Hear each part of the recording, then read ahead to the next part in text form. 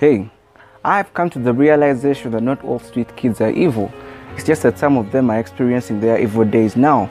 Governments have urged us to stay at home, but for these young girls and boys, it meant verandas, it meant doorways, it meant drainage patterns, junky places.